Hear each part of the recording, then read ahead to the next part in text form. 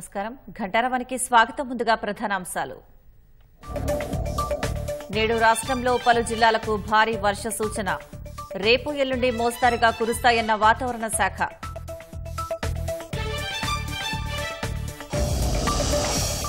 అక్రమంగా ఇసుకను తరలిస్తున్న తొమ్మిది లారీలు సీజ్. పెద్దపల్లి నుంచి హైదరాబాద్కు తరలిస్తున్నట్లు గుర్తింపు.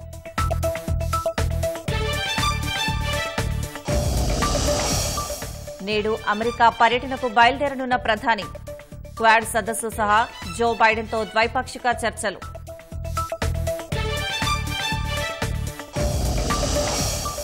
వారానికి నలభై గంటలకు మించి పని ఉండకూడదన్న శశి థరూర్. పార్లమెంటులో చట్టం తెచ్చేందుకు కృషి చేస్తామని వెల్లడి.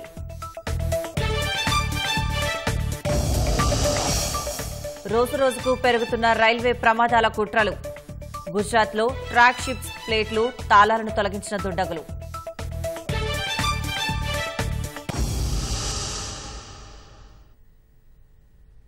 ఇవాళ రాష్ట్రంలో పలు జిల్లాలు భారీ వర్షాలు కురిసే అవకాశం ఉంది.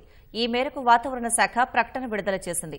భూపాలపల్లి ములుగు భద్రాద్రి నల్గొండ సూర్యాపేట జనగామ యాదాద్రి జిల్లాలు సహా భువనగిరి రంగారెడ్డి సంగారెడ్డి నాగర్ కర్నూలు జిల్లాలో వర్షాలు కురిసే అవకాశం ఉంది. రేపు ఎల్లుండి కూడా పలు జిల్లాల్లో మోస్తారు వర్షాలు కురిసే అవకాశం ఉన్నట్లు వాతావరణ శాఖ వెల్లడించింది.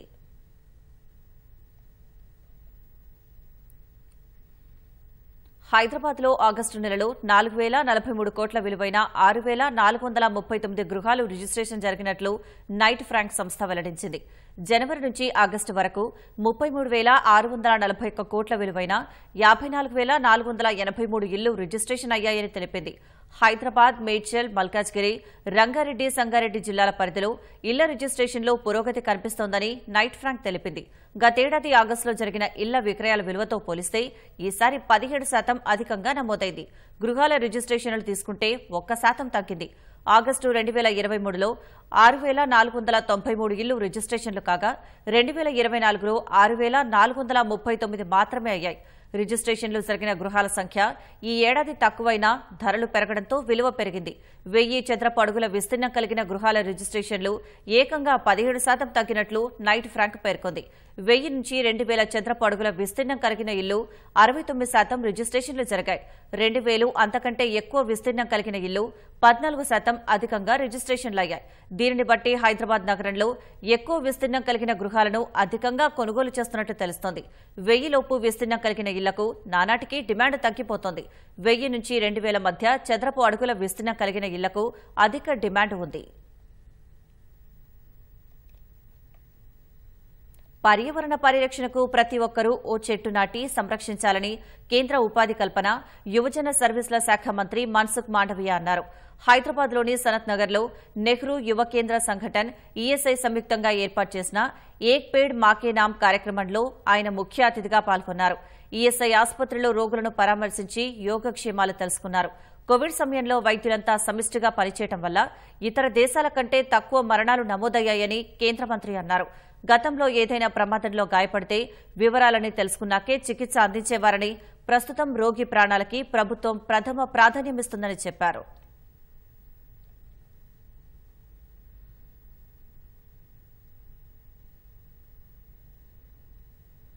మూడు రోజుల అమెరికా పర్యటనలో క్వాడ్ సదస్సుకు హాజరవడంతో పాటు అనేక కార్యక్రమాల్లో పాల్గొంటారని ప్రధాని నరేంద్ర మోదీ తెలిపారు.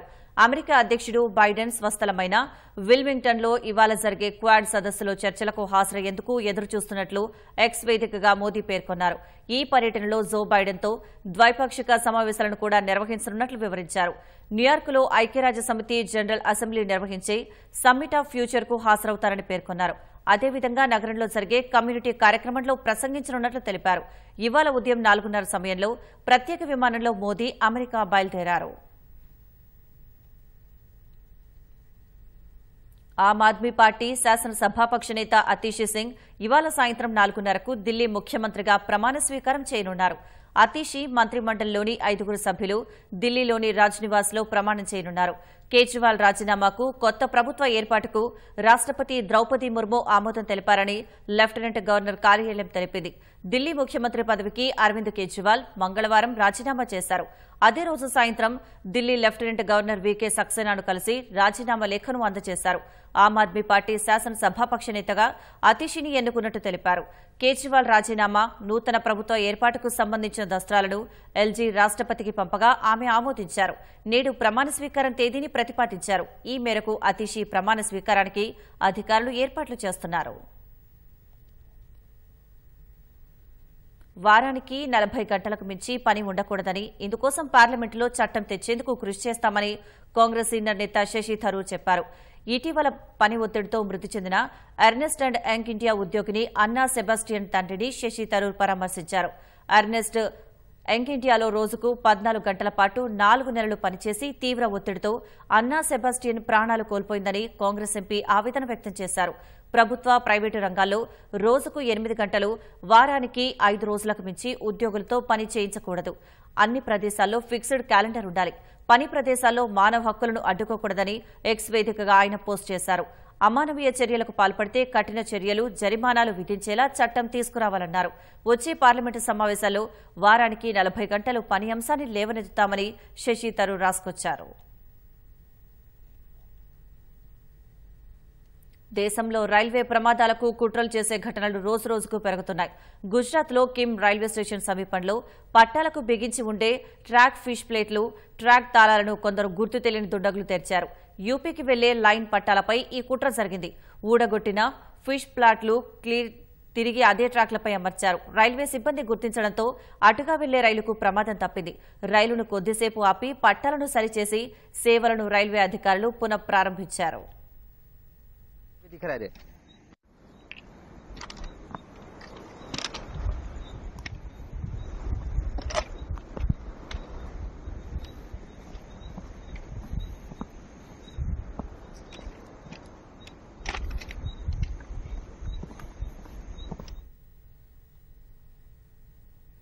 చెరువుల ఎఫ్టీఎల్ను ఏ నిబంధన కింద నిర్ధారిస్తారో చెప్పాలంటూ ప్రభుత్వానికి హైకోర్టు ఆదేశాలు జారీ చేసింది. ఏమైనా చట్టబద్దమైన నిబంధనలున్నాయా? లేదంటే ప్రభుత్వం ఉత్తర్వుల ఆధారంగా చేస్తారా అంటూ ప్రశ్నించింది. దుర్గం చెరువు ఎఫ్టీఎల్ నూట అరవై ఎకరాలు ఉందని ఏ ప్రాతిపదికన నిర్ధారించారో చెప్పాలని ఆదేశిస్తూ విచారణను ఈ నెల ఇరవై మూడుకు వాయిదా వేసింది. రంగారెడ్డి జిల్లా షేర్లింగపల్లి మండలం గుట్టల బేగంపేట గ్రామం సర్వే నెంబర్ నలభై ఏడులో అమర్ కోఆపరేటివ్ హౌసింగ్ సొసైటీలో ఉన్న తన ప్లాట్లోని నిర్మాణాల్లో జోక్యం చేసుకోకుండా ఆదేశాలివ్వాలంటూ ఓ మహిళ హైకోర్టులో పిటిషన్ దాఖలు చేశారు. నీటిపారుదల శాఖలోని చెరువుల మ్యాప్ ప్రకారం దుర్గం చెరువు విస్తీర్ణం అరవై ఎకరాలు ఉందని అయితే నూట అరవై ఎకరాలుగా అధికారులు నిర్ధారించారని పిటిషనర్ తరపు న్యాయవాది వాదించారు. ఏ ప్రాతిపదికన చెరువు విస్తీర్ణం పెరిగిందో చెప్పలేదన్నారు. దీంతో ఎఫ్టీఎల్ నిర్ధారణకు అనుసరించే పద్ధతులు నిబంధనలు ఏమైనా ఉంటే చెప్పాలని హైకోర్టు ఆదేశించింది. లేని పక్షంలో మార్గదర్శకాలు జారీ చేసే అంశాన్ని పరిశీలిస్తామని చెప్పింది. పూర్తి వివరాలు సమర్పించాలని ఆదేశిస్తూ విచారణను ఇరవై మూడుకు వాయిదా వేసింది. హైదరాబాద్ వ్యాప్తంగా గణేష్ ఉత్సవాల నేపథ్యంలో మహిళల పట్ల అసభ్యంగా ప్రవర్తించిన తొమ్మిది వందల తొంభై ఆరు మందిని షీ టీమ్స్ అరెస్ట్ చేశాయి. ఖైరతాబాద్ బడా సహా నగరంలోని ఇతర ప్రాంతాల్లో పదకొండు రోజుల పాటు తొమ్మిది వందల తొంభై ఆరు మందిని వీడియో ఆధారాలతో సహా రెడ్ హ్యాండెడ్గా పట్టుకున్నట్లు పోలీసులు తెలిపారు. పోలీసులు విడుదల చేసిన వీడియోలో కొంతమంది దురుద్దేశంతో కావాలనే మహిళలను అసభ్యంగా తాకుతూ ఉన్నట్లు స్పష్టంగా కనిపిస్తోంది. అన్ని ఆధారాలతో సదరు వ్యక్తులను కోర్టులో హాజరుపరుస్తామని పోలీసులు వెల్లడించారు. మహిళల భద్రత కోసం షీ టీమ్స్ ఇరవై నాలుగు గంటలు పని చేస్తూనే ఉంటాయని వివరించారు. ఆడవాళ్ళ పట్ల మగవాళ్ళ దుష్ప్రవర్తనను సహించబోమని స్పష్టం చేశారు. మహిళలు ఎక్కడైనా పురుషుల అనుచిత ప్రవర్తనకు గురైనా చూసిన వెంటనే డయల్ హండ్రెడ్ ద్వారా ఫిర్యాదు చేయాలని పోలీసులు సూచించారు.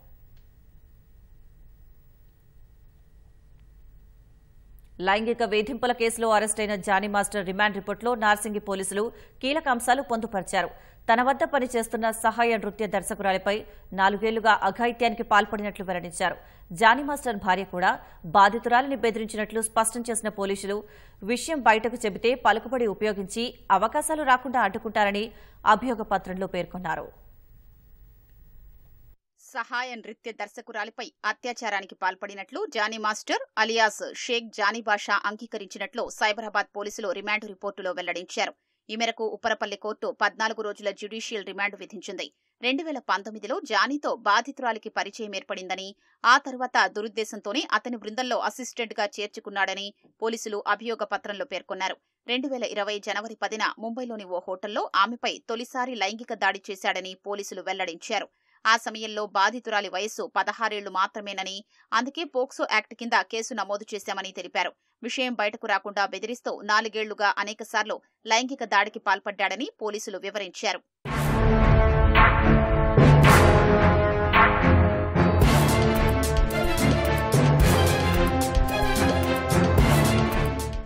ఓ షో కోసం రెండు వేల ఇరవై జనవరి పదిన జానీ మాస్టర్ బాధిత యువతి సహా ముగ్గురు ముంబైకి వెళ్ళి ఓ హోటల్లో బస చేశారు. ఆధార్ సహా కొన్ని పత్రాల్ని బాధితురాలి వద్దనే ఉంచిన జానీ మాస్టర్ అర్ధరాత్రి సమయంలో వాటిని తీసుకుని తన గదికి రమ్మని కాల్ చేసి చెప్పాడు. వాటిని తీసుకుని యువతి జానీ రూంలోకి వెళ్ళగానే ఆమెను బంధించి అఘాయిత్యానికి పాల్పడినట్లు రిమాండ్ రిపోర్టులో పోలీసులు పేర్కొన్నారు. అప్పట్నుంచి వేధింపులు కొనసాగించినట్లు వివరించారు. షూటింగ్ సమయంలో సహకరించకపోతే క్యార్వాన్లో అద్దానికి బాధిత యువతి తలను కొట్టినట్లు వెల్లడించారు. అద్దం పగిలి తీవ్ర గాయాలైనట్లు యువతి వాంగ్మూలమిచ్చినట్లు వివరించారు. షూటింగ్ పేరుతో వివిధ ప్రాంతాలకు తీసుకెళ్ళిన జానీ ఆమె పేరుపై గదులు బుక్ చేసి వేధింపులకు పాల్పడేవాడని వెల్లడించారు. జరిగిన విషయం గురించి ఎవరికైనా చెప్తే తన వద్ద ఉద్యోగం కోల్పోవడంతో పాటు సినిమా అవకాశాలు రానివ్వనని బెదిరించినట్లు తెలిపారు. వేధింపులు భరించలేక బాధిత యువతి కొన్ని నెలల పాటు ఇంటికే పరిమితమైంది. పనికి రావాలని ఓ రోజు జానీ మాస్టర్ ఫోన్ చేస్తే తన తల్లి అనారోగ్యంతో ఉందని రాలేనని యువతి వెల్లడించింది. కొంత సమయం తర్వాత బాధితురాలి ఇంటికి చేరుకున్న జానీ మాస్టర్ ఆమె తల్లి ఉండగానే మరో గదిలోకి తీసుకెళ్ళి అత్యాచారానికి పాల్పడినట్లు పోలీసులు రిమాండ్ రిపోర్టులో పేర్కొన్నారు. మరోవైపు మతం మారాలంటూ జానీ మాస్టర్ అతని భార్య దాడి చేసినట్లు తెలిపారు. జానీ మాస్టర్ పదే పదే వేధింపులకు భౌతిక దాడికి పాల్పడేవాడని యువతి చెప్పినట్లు రిమాండ్ రిపోర్టులో పేర్కొన్నారు. బయటకొచ్చి స్వతంత్రంగా పనిచేసుకుంటుంటే తన పలుకుబడి ఉపయోగించి వాటిని రద్దు చేయించేవాడని వివరించినట్లు తెలిపారు. గత నెల పదిహేడున ఇంటికి వెళుతుండగా గుర్తు తెలియని వ్యక్తి బెదిరించినట్లు పేర్కొన్నారు. పాటకు అభినందనలు. కానీ మీరు మాత్రం జాగ్రత్త అంటూ ఆగస్టులో ఓ పార్సిల్ వచ్చిందని వెల్లడించారు. ఈ నేపథ్యంలో జానీ మాస్టర్పై తగు చర్యలు తీసుకోవాలని బాధిత యువతి పోలీసులకు ఫిర్యాదు చేసినట్లు స్పష్టం చేశారు. ముంబై నటి ఫిర్యాదుతో నమోదైన కేసులో వైకాపా నేత కుక్కల విద్యాసాగర్ను పోలీసులు పక్కాగా ఉచ్చు బిగించి అదుపులోకి తీసుకున్నారు. ఉత్తరాఖండ్లోని దెహ్రాదూన్లో ఓ రిసార్ట్లో విలాసంలో మునిగి తేలుతుండగా విజయవాడ పోలీసులు అతన్ని పట్టుకున్నారు. అక్కడే జ్యుడిషియల్ మెజిస్ట్రేట్ కోర్టులో హాజరుపరిచి ట్రాన్సిట్ వారెంట్ తీసుకుని విజయవాడకు తరలిస్తున్నారు. ఆదివారం మెజిస్ట్రేట్ ఎదుట ప్రవేశపెట్టనున్నారు. ముంబై నటి కేసులో కీలక నిందితుడు విద్యాసాగర్ను పోలీసులు ఎట్టకేలకు అరెస్టు చేశారు. అరెస్టు అనుమానంతో గత రెండు వారాల నుంచి వైకాపా నేత విద్యాసాగర్ తన ఫోన్లన్నీ స్విచ్ ఆఫ్ చేసి అజ్ఞాతంలోకి వెళ్ళిపోయారు ముంబై ఢిల్లీ గుజరాత్లోని పలు ప్రాంతాల్లో తిరుగుతూ సన్నిహితులతో ఇతర మార్గాల్లో సంప్రదింపులు జరిపాడు. ఎఫ్ఐఆర్లో తన పేరు చేర్చినప్పటి నుంచి ముందస్తు బెయిల్ కోసం న్యాయవాదులతో తరచూ సంప్రదింపులు జరుపుతున్నట్లు పోలీసులు గుర్తించారు. ఢిల్లీలోనూ సుప్రీంకోర్టు న్యాయవాదులతో రహస్యంగా మాట్లాడుతున్నట్లు తేలింది. చివరకు దెహ్రాదూన్కు చేరి అక్కడ ఓ రిసార్ట్లో తలదాచుకుంటూ విలాసాల్లో మునిగి తేలుతున్నట్లు తెలిసింది. తన ఫోన్లు వినియోగంలో లేకపోవడంతో సురక్షితంగా ఉన్నానని భావించారు. కానీ విద్యాసాగర్ ఎవరెవరితో టచ్లో ఉన్నారో తెలుసుకుని వారి ఫోన్లపై పోలీసులు నిఘా పెట్టారు. చివరకు అతడి ఆచూకీ తెలుసుకుని అరెస్టు చేశారు.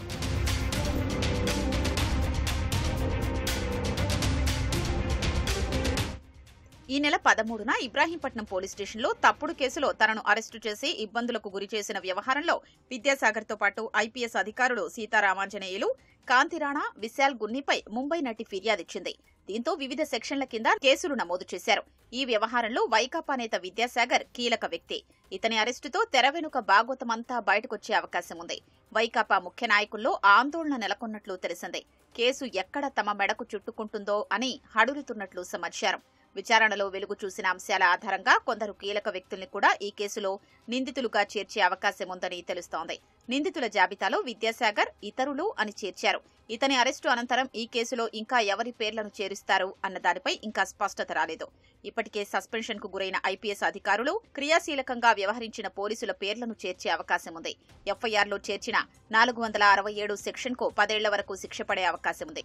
దీనివల్ల అరెస్టు చేస్తే బెయిల్ కూడా రాని పరిస్థితి. ఈ నేపథ్యంలో కాంతిరాణా హైకోర్టులో ముందస్తు బెయిల్ పిటిషన్ దాఖలు చేశారు.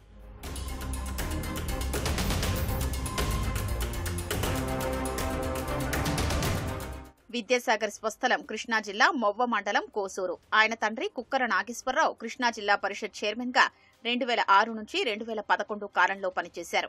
గతంలో కాంగ్రెస్ పార్టీలో ఉన్న వీరి కుటుంబం జగన్ వైకాపా పెట్టిన తర్వాత అందులో చేరారు. కృష్ణా జిల్లా నుంచి వైకాపాలో తొలుత విద్యాసాగర్ తండ్రి నాగేశ్వరరావు చేరారు. అప్పటి నుంచి వీరి కుటుంబానికి వైకాపా అధినేత జగన్తో సన్నిహిత సంబంధాలు ఉన్నాయి. ఈ సాన్నిహిత్యంతోనే రెండు వేల పద్నాలుగు ఎన్నికల్లో ఆ పార్టీ నుంచి కృష్ణా జిల్లా మచిలీపట్నం ఎంపీ సీటును ఆశించారు. చివరకు జగన్ పెనమలూరు అసెంబ్లీ సీటును విద్యాసాగర్కు కేటాయించారు. ఆ ఎన్నికల్లో తెదేపా అభ్యర్థి చేతిలో పరాజయం పాలయ్యారు. వీరి కుటుంబానికి షిప్పింగ్ వ్యాపారం ఉంది. వ్యాపార బాధ్యతల దృష్ట్యా విద్యాసాగర్ కృష్ణా జిల్లాలో కన్నా విశాఖ ముంబై హైదరాబాద్ వంటి ప్రాంతాల్లో ఎక్కువగా తిరుగుతూ ఉంటారు. రహదారిపై బహిర్భూమికి వెళ్ళిన ఓ వ్యక్తి బస్సు కింద పడి అర్ధంతరంగా తనువు చాలించాడు. మహబూబ్నగర్ జిల్లా అడ్డాకులలో డీసీఎంని బలంగా ఢీకొట్టిన బస్సు అదుపు తప్పి బోల్తా పడే సమయంలో బహిర్భూమికి వచ్చిన కృష్ణయ్యపై పడి కొంత దూరం ఈడ్చుకెళ్ళింది ఆయన బస్సు కింద నలిగిపోయి అక్కడికక్కడే మృతి చెందాడు. మరో ఇద్దరికి తీవ్ర గాయాలయ్యాయి.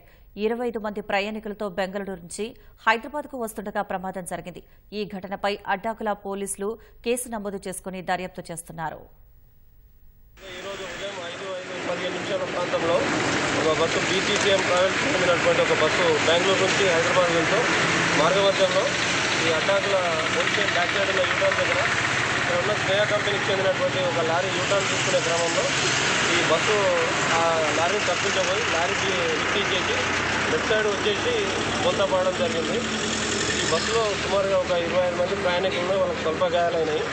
అయితే ఇది అడ్డాకుల గ్రామానికి చెందిన కృష్ణయ్య అనే వ్యక్తి ఇక్కడ బైర్భూమి నిమిత్తము వస్తే ఆ సమయంలో బస్సు పోయి అతని మీద బోల్తపడి అతను అక్కడికక్కడే మృతి చెందడం జరిగింది అక్రమంగా ఇసుకను తరలిస్తున్న తొమ్మిది లారీలను రెవెన్యూ అధికారులు పట్టుకున్నారు. పెద్దపల్లి జిల్లాలోని వివిధ ప్రాంతాల నుంచి లారీల ద్వారా ఇసుకను హైదరాబాద్కు గుట్టుగా తరలిస్తున్నట్లు సమాచారం రావడంతో సుల్తానాబాద్ మండలం గొల్లపల్లి శివారులో ఆకస్మిక తనిఖీలు చేశారు.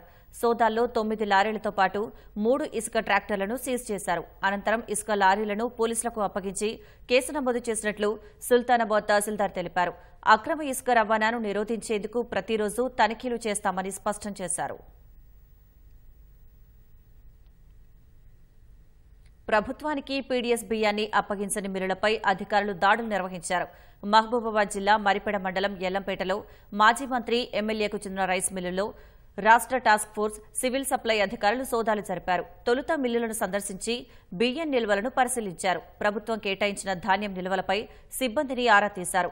ధాన్యాన్ని బియ్యంగా మార్చి నలభై రెండు వేల ఐదు వందల యాభై మూడు క్వింటాల పీడీఎస్ బియ్యాన్ని అప్పగించాల్సి ఉండగా ఇరవై నాలుగు వేల మూడు వందల ముప్పై ఆరు క్వింటాల బియ్యాన్ని మాత్రమే అప్పగించినట్లు అధికారులు గుర్తించారు.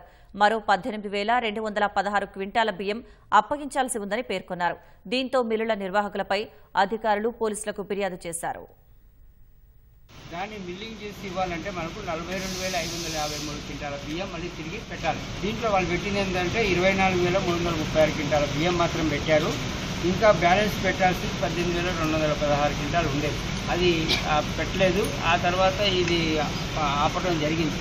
అయితే దీనికి సంబంధించిన ప్యాడీ మనకి మాకు ఎంత ఉండాలంటే ఇరవై ఆరు వేల ఏడు వందల ఎనభై నాలుగు క్వింటాల ధాన్యం ఉండాలి. కానీ ఇప్పుడు మీరు చూశారు ఇక్కడ రైస్ మిల్లో ఎక్కడ ఒక గింజ బియ్యం వడ్డు కూడా లేదు ధాన్యం లేదు. పూర్తిగా పోయింది. అది దాని సుమారుగా అది బ్యాగులో కన్వర్ట్ చేసినట్లయితే అరవై ఆరు వేల తొమ్మిది వందల డెబ్బై బస్తాల వరి ధాన్యము ఇది రైస్ మిల్లో లేదు. దాన్ని ఇప్పుడు మేము ఎకనామిక్ కాస్ట్ ప్రకారంగా అప్పుడు మేము ఫార్మర్స్కి పెట్టినటువంటి గవర్నమెంట్ ఇచ్చినటువంటి రేటుకి ఎకనామిక్ కాస్ట్ కలిపినట్లయితే దాన్ని పూర్తిగా ఆరు కోట్ల నలభై తొమ్మిది లక్షల ముప్పై మూడు వేల రూపాయల వర్త్ ధాన్యము ఈ మిల్లులో లేదు. వ్యవసాయ శాఖ మంత్రి తుమ్మల నాగేశ్వరరావు కుమారుడు తుమ్మల యుగేందర్ మున్నేరు వరద ముంపు విద్యార్థులకు తనవంతుగా సాయం చేశారు. వరద ప్రవాహంలో పుస్తకాలు ల్యాప్టాప్లో కొట్టుకుపోయిన పాఠశాల విద్యార్థులకు నోటు పుస్తకాలు అందజేశారు.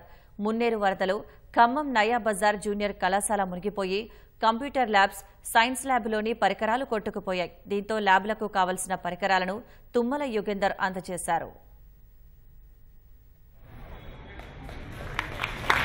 జరగండి సార్ మాకు.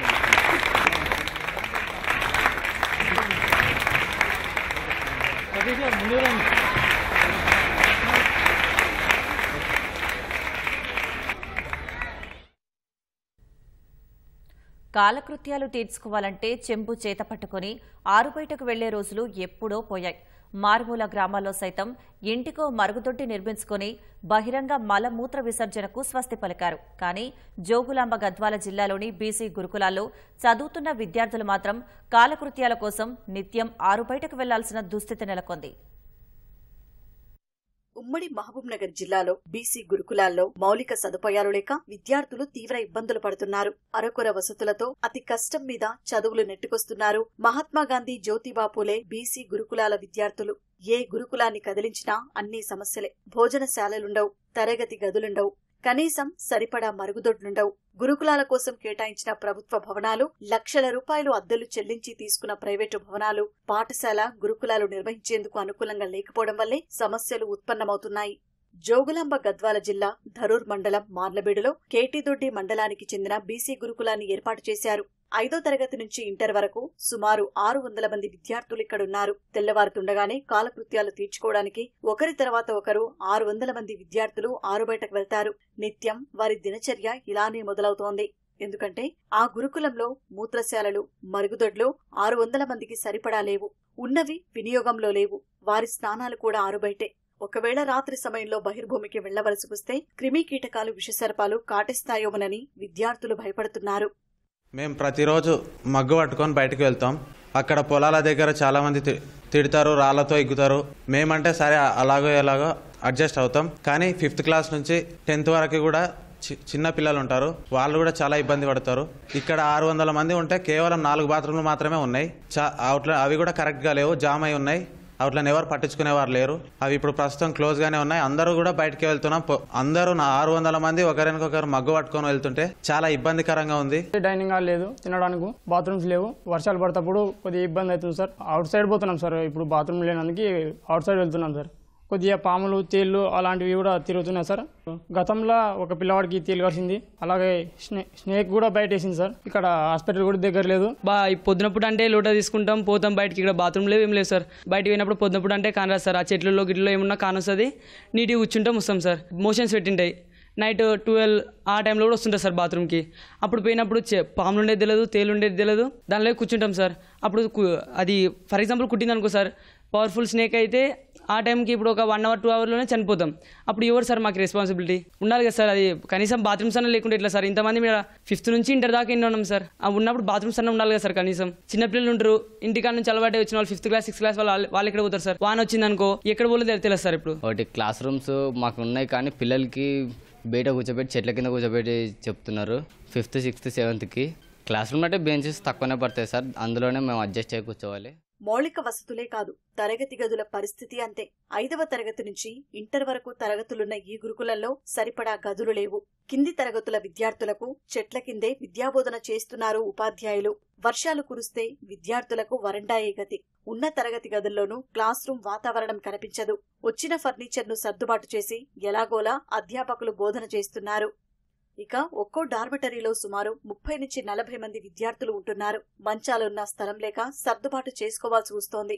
మంచం మీద మంచం ఏర్పాటు చేసి విద్యార్థులు పడుకుంటున్నారు. పైనున్న విద్యార్థులకు పైకప్పు తాకితే కింద ఉన్న విద్యార్థులకు గాలి రావడం లేదు. నిత్యం దోమలతోనే విద్యార్థులు సావాసం చేయాల్సి వస్తోంది. పిల్లలు భోజనం చేసేందుకు భోజనశాల కూడా లేదు. గురుకులం పరిసరాల్లోనే మట్టిలో కూర్చుని అన్నం తింటున్నారు. మరోవైపు ఈ గురుకులానికి సరైన రహదారి కూడా లేదు. నిత్యం గురుకులానికి వచ్చే ఉపాధ్యాయులు కూడా నానా అవస్థలు పడాల్సి వస్తోంది. ఇక్కడి నుంచి స్కూల్ నుంచి కొద్దిగా ట్రాన్స్పోర్ట్ చాలా ప్రాబ్లం అవుతుంది కేటీదొడ్డి స్కూల్ అండి ఇది. ఆ రోడ్ నుంచి ఇక్కడ స్కూటీ తీసుకొని రావాలంటే కూడా చాలా ప్రాబ్లమాటిక్గా ఉంది. గుంతలు గుంతలుగా ఉంటుంది. అబ్బాయిలు అయితే ఏ విధంగా అయినా రావచ్చు. బట్ అమ్మాయిలం కదా కొద్దిగా ఇబ్బంది పడుతున్నాం మేము. దయచేసి కొద్దిగా రోడ్ ఫెసిలిటీ మాకు కల్పిస్తే బాగుంటుందని కోరుకుంటున్నాం. ఈ సమస్యలన్నింటికీ ప్రధాన కారణం గురుకులానికి కేటాయించిన భవనం పాఠశాల వసతి గృహానికి అనుకూలంగా లేకపోవడమే. నెట్టెంపాడు ఎత్తిపోతల పథకం నిర్మాణం కోసం అప్పట్లో నీటిపారుదల శాఖ నిర్మించిన క్వార్టర్లను గురుకులం కోసం కేటాయించారు. విశాలమైన స్థలమున్నా భవన నిర్మాణం గురుకుల నిర్వహణకు అనుకూలంగా లేదు. ఉన్న భవనాల్లోనే కొన్నింటిని కస్తూరిబా గురుకులం కోసం కేటాయించారు. కేటీదొడ్డిలో కస్తూరిబా గురుకులానికి నూతన భవన నిర్మాణం పూర్తయింది. మార్లబేడు నుంచి కస్తూరిబాను కేటిదొడ్డికి తరలిస్తే ఆ భవనాన్ని బీసీ గురుకులం కోసం వినియోగించుకోవచ్చు. ప్రస్తుతం ఉన్న సమస్యలు ఉన్నతాధికారుల దృష్టికి తీసుకువెళ్ళామని ప్రిన్సిపాల్ శ్రీనివాసరావు తెలిపారు. వీలైనంత త్వరగా పరిష్కారం చేస్తామని ఆయన చెబుతున్నారు. ఫిఫ్త్ క్లాస్ నుంచి ఇంటర్మీడియట్ వరకు మొత్తం ఆరు వందల మంది విద్యార్థులు ఉన్నారు. ప్రాపర్గా టాయిలెట్స్ కానీ బాత్రూమ్స్ కానీ లేకపోవడం కొద్దిగా అది ఇబ్బందికరంగా ఉంది సార్. దానివల్ల పిల్లలు కొంచెం అవుట్స్కట్కి వెళ్తారు బయటకు వెళ్తారు. గవర్నమెంట్ బిల్డింగ్ అయినప్పటికీ ఇది రెసిడెన్షియల్ ప్యాటర్న్ బిల్డింగ్ కాదు సార్. ఇది ఇరిగేషన్ డిపార్ట్మెంట్ క్వార్టర్స్. కాబట్టి దీనికి మన రెసిడెన్షియల్ ప్యాటర్న్స్ అయినటువంటి బిల్డింగ్ లేకపోవడం వల్ల కొంచెం మనకు క్లాస్ రూమ్ స్ట్రక్చర్స్ కానీ లేకపోతే డార్మెటరీ స్ట్రక్చర్స్ కానీ లేకపోవడం వల్ల ఇవి దానివల్ల కొద్దిగా పిల్లలకు ఇబ్బందిగా ఉన్నటువంటి మాట వాస్తవమే సార్.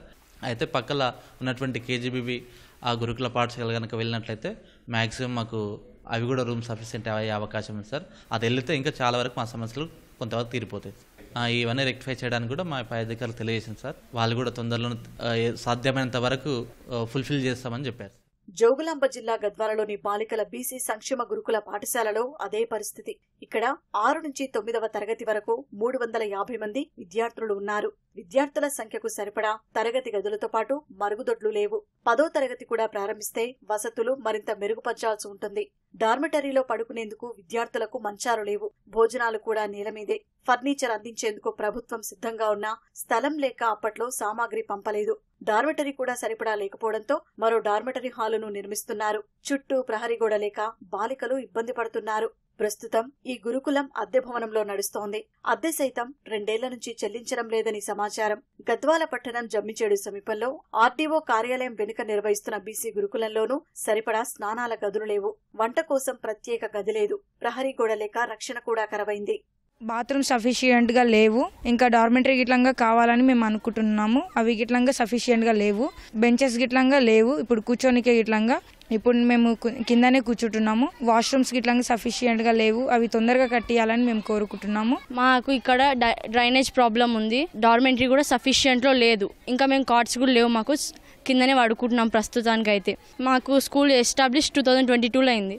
అప్పటి నుంచి మాకు కార్డ్స్ లేవు. బెంచెస్ లేవు. పిల్లలకి కొంతమందికి బ్యాక్ పెయిన్ అని కూడా స్ట్రగుల్ అవుతున్నారు పిల్లలు కూడా. దాని తర్వాతకి ఇంకా కొంత ఇంకా స్మెల్ వస్తుంది డ్రైనేజ్ కూడా ఎక్కువ స్మెల్ వస్తుంది. ఇంకా డైనింగ్ హాల్ కూడా లేదు మాకు కింద కూర్చుంటాం అక్కడ కూడా. మాకు ఈ డార్మెంటరీ కూడా సఫిషియెంట్గా లేదు. గురుకులాల సమస్యలపై ప్రభుత్వం దృష్టి సారించాల్సిన అవసరం ఉంది. లేదంటే విద్యార్థుల చదువులు అగమ్యగోచరంగా తయారయ్యేలా ఉంది.